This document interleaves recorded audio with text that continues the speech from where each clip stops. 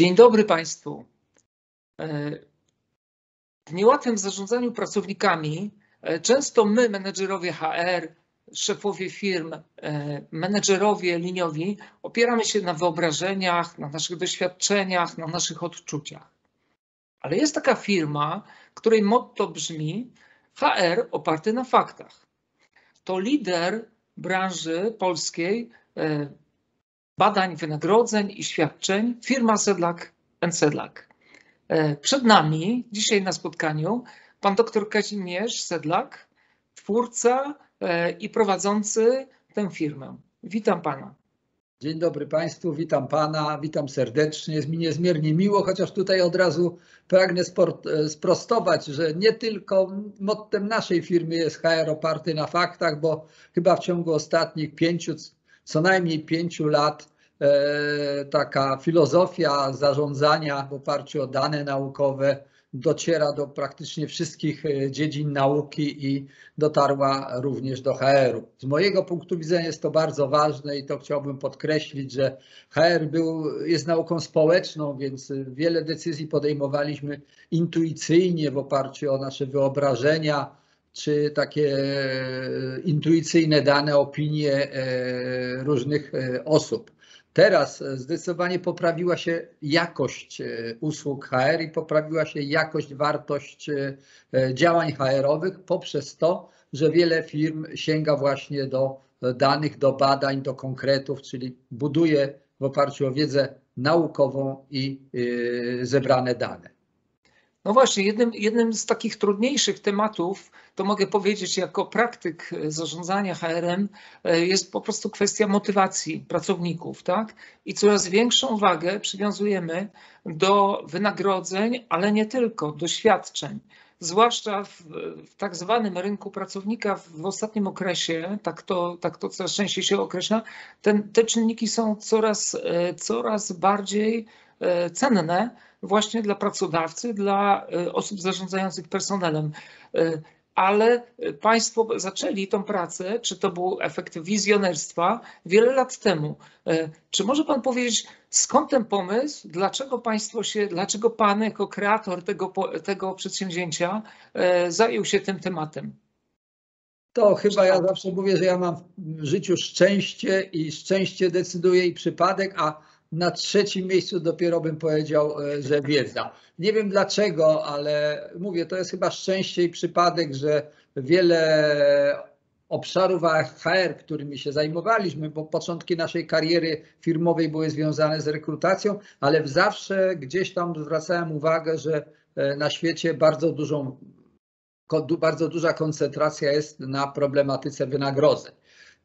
I generalnie rzecz biorąc, e, jak sobie to historycznie teraz odtwarzam, to mam wrażenie, że na świecie zawsze tak było, że wynagrodzenia są głównym obszarem zainteresowania HR-u. Tutaj będę podkreślał, wynagrodzenia są głównym obszarem zainteresowania HR-u, natomiast e, polska rzeczywistość była troszkę inna. U nas kiedyś te koszty pracy były stosunkowo niskie i nie zwracaliśmy uwagi na koszty pracy.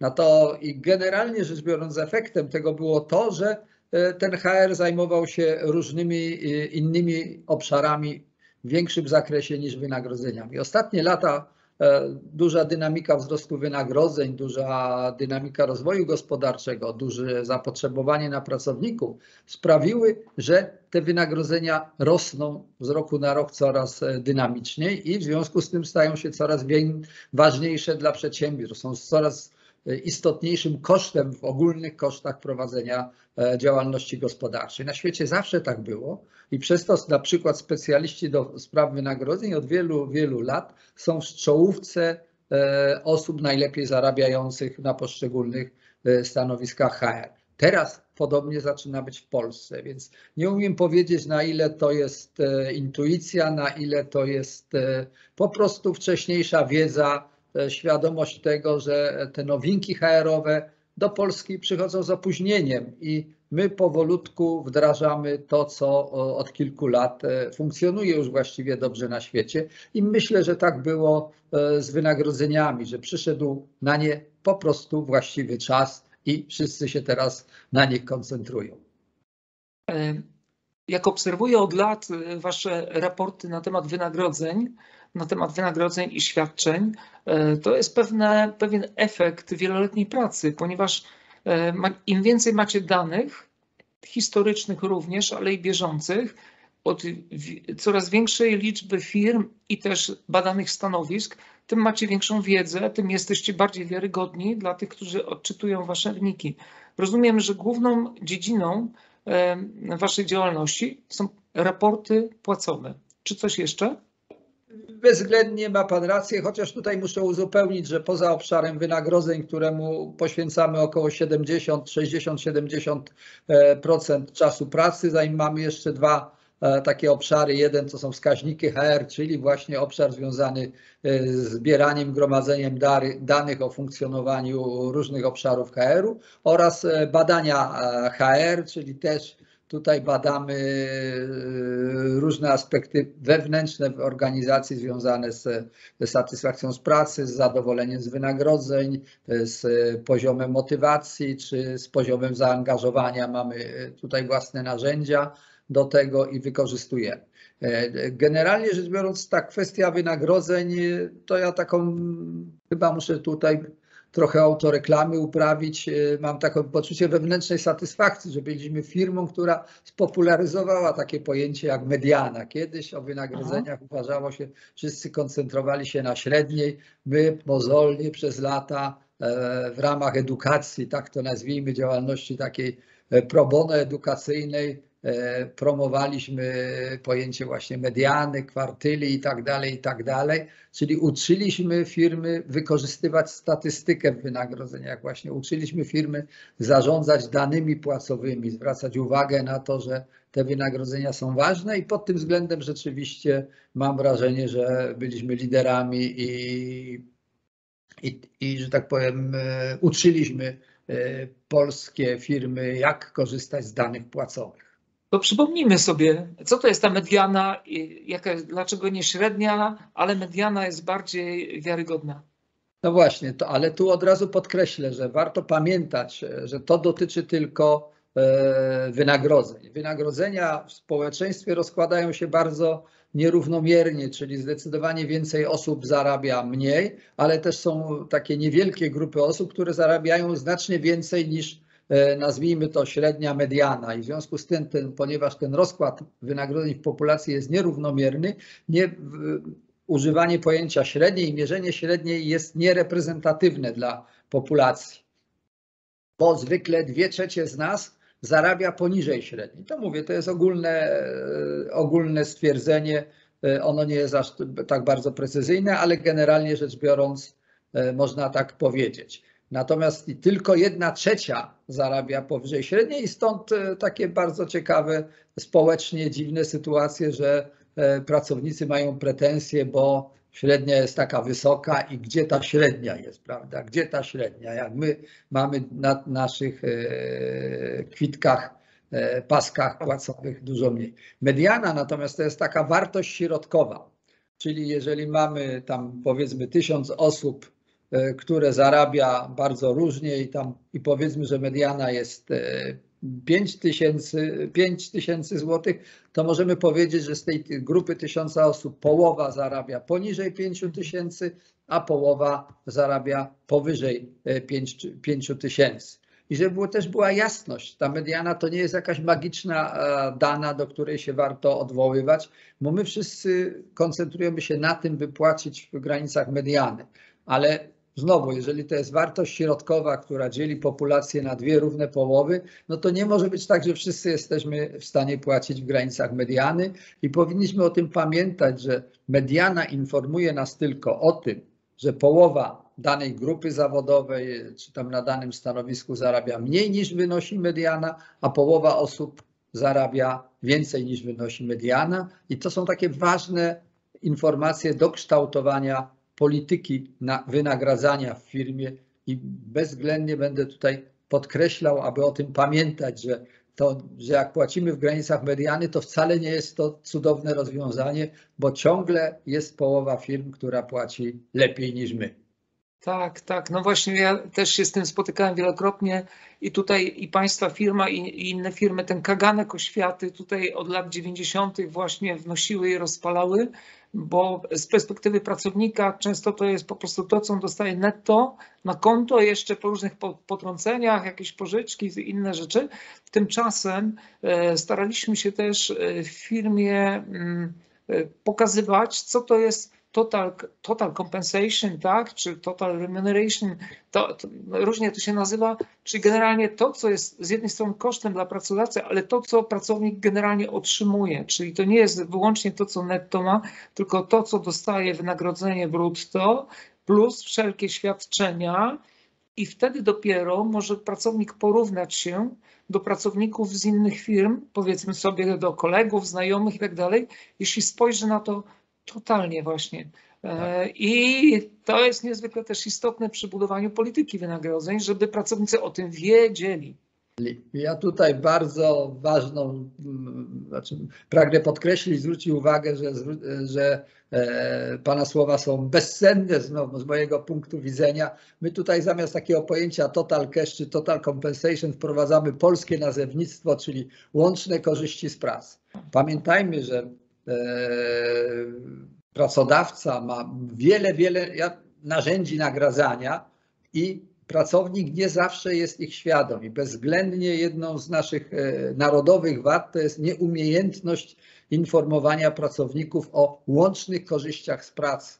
E, pracownicy są przyzwyczajeni do tego, że wynagrodzeniem jest tylko to, co wpływa na konto pracownicy zapominają, że pracodawca odkłada na ich emeryturę, gwarant, e, płaci za nich składkę zdrowotną i tak dalej, i tak dalej. Czyli to nawet nie jest to, co my nazywamy brutto na umowie o pracę, tylko to są jeszcze dodatkowe E, koszty. Oprócz tego jest kawa, herbata i tak dalej, inne przywileje, takie jak e, benefity czy samochody służbowe.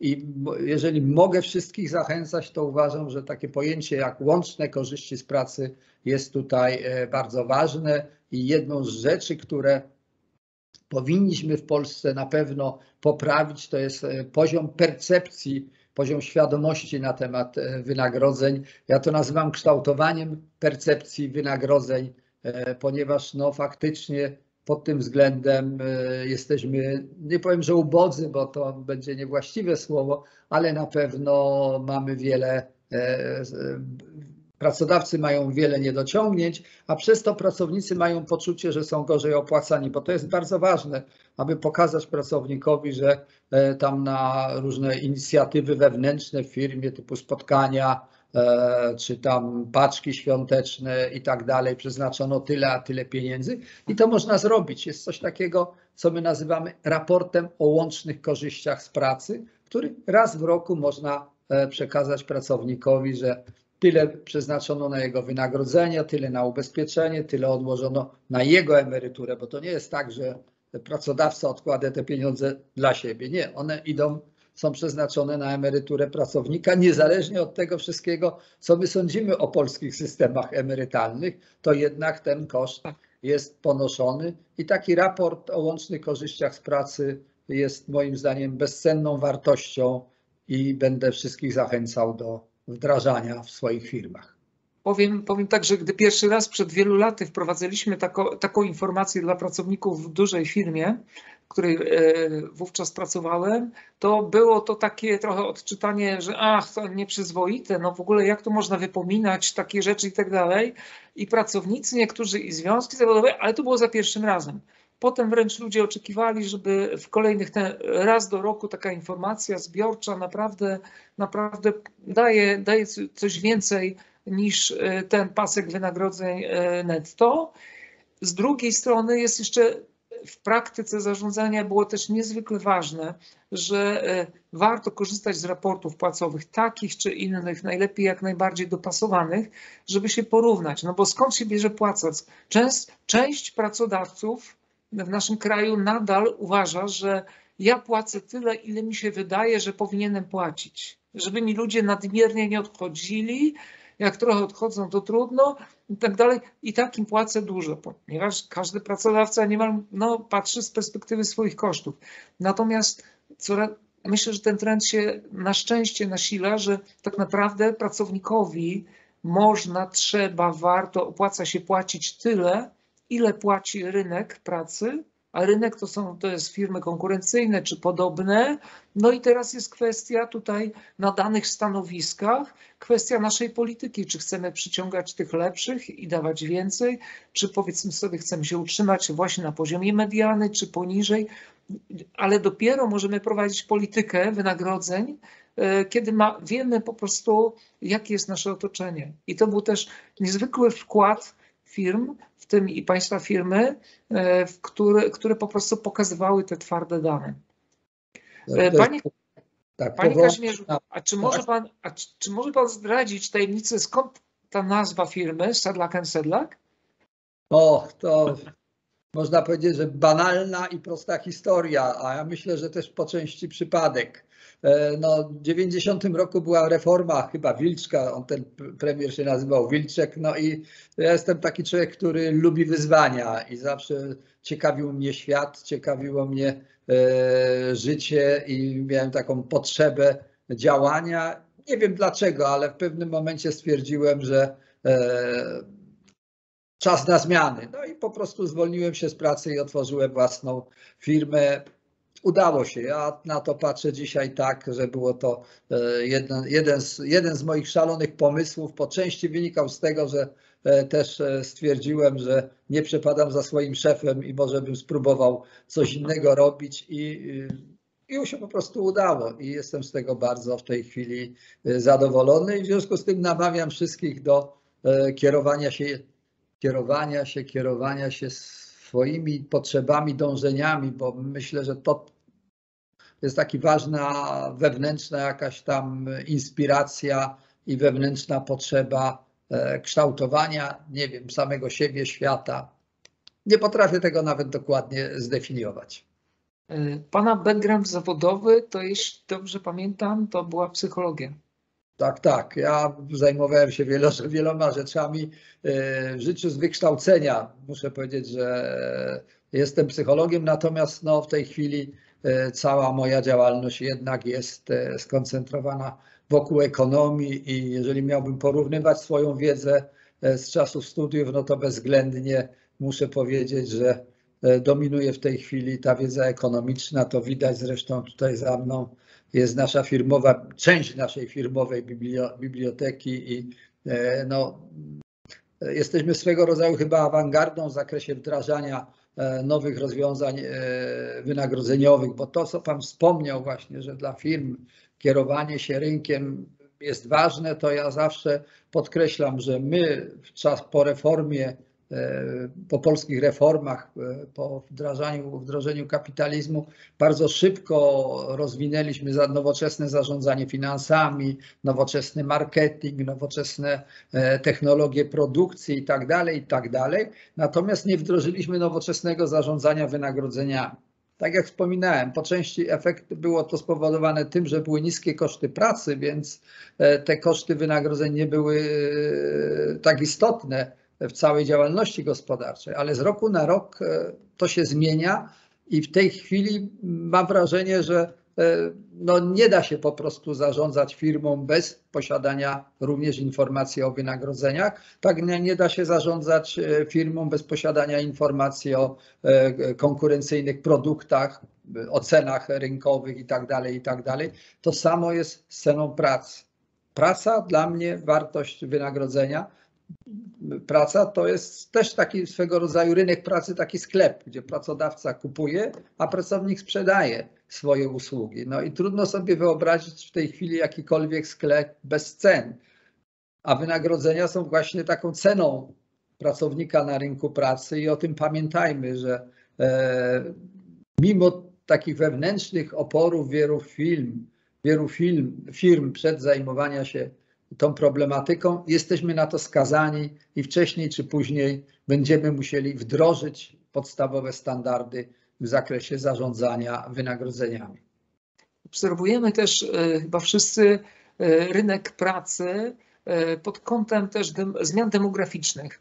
Mamy coraz więcej pracowników w wieku średnim i dojrzałym, mamy coraz więcej pracowników na rynku pracy albo osób właśnie, które są zdezaktywowane zawodowo, no i teraz będzie, myślę, że myślimy też, także tu i flexi, e, flexi praca i aktywność 50, plus, jak sama nazwa wskazuje, e, zajmuje się z wielką determinacją właśnie przekonywaniem pracodawców, łamaniem stereotypów na temat osób dojrzałych, wskazując, że jest to, być może będzie to jeden z głównych, a może jedyny zasób e, taki rezerwowy, mówiąc nieładnie siły roboczej e, do wykorzystania. Ja zawsze a. mówię, tłumaczmy z angielskiego ładnie terminy.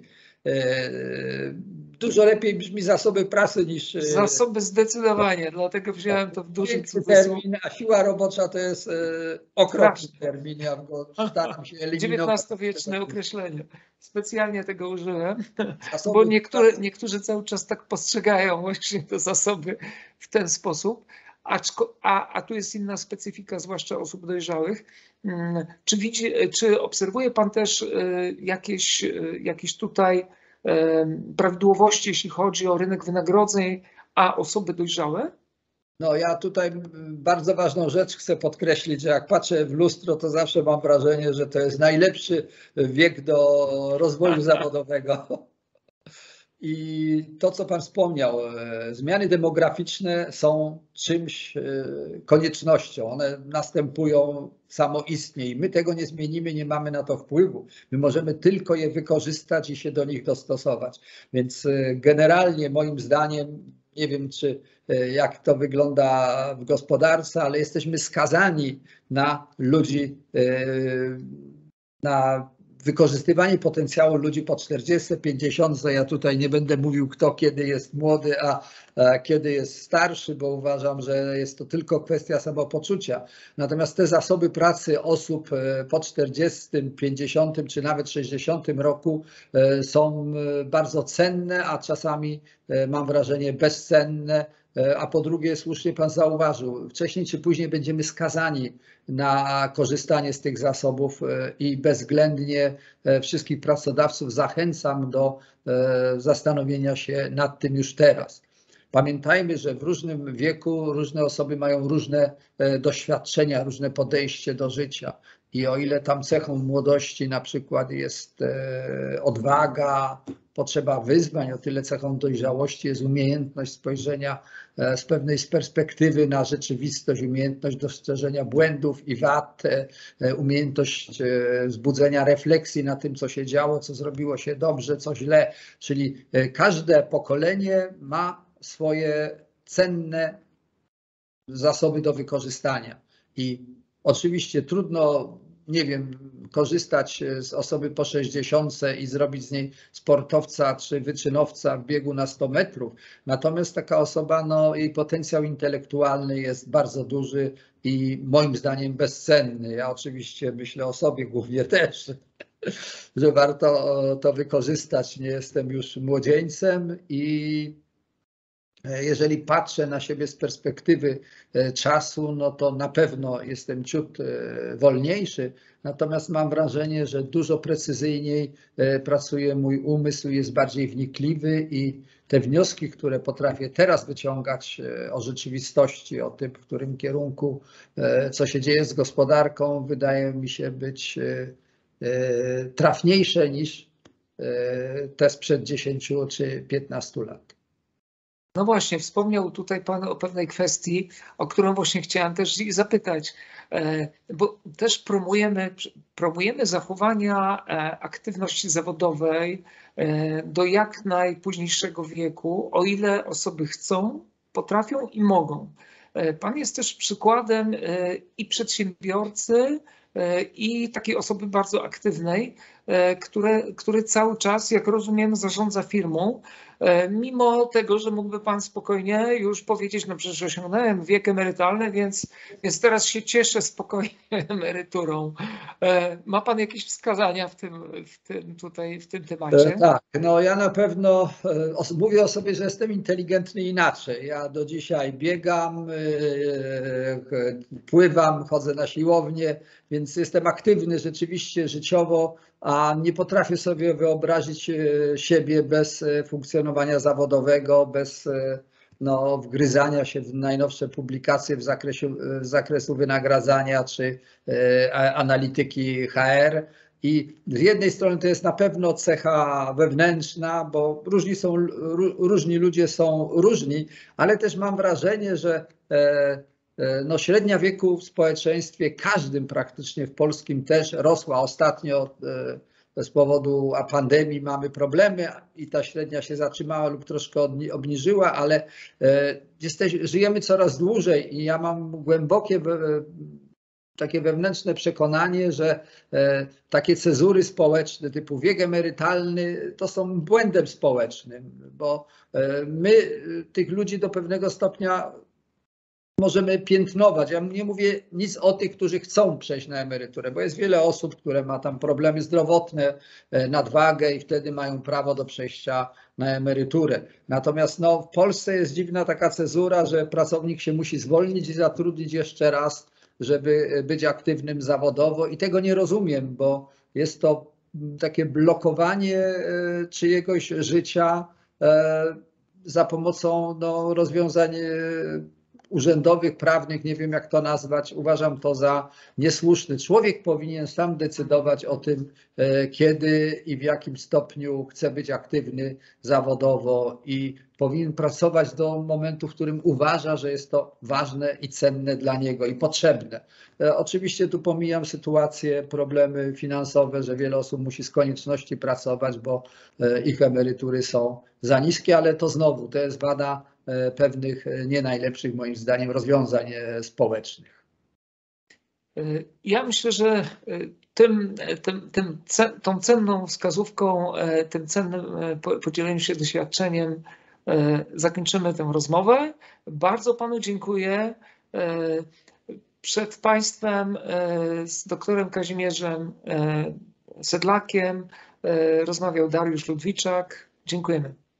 Ja dziękuję Państwu, mnie też było bardzo miło i życzę oczywiście powodzenia portalowi Flexi, bo uważam, że jest to bardzo, bardzo ważna i cenna społecznie inicjatywa.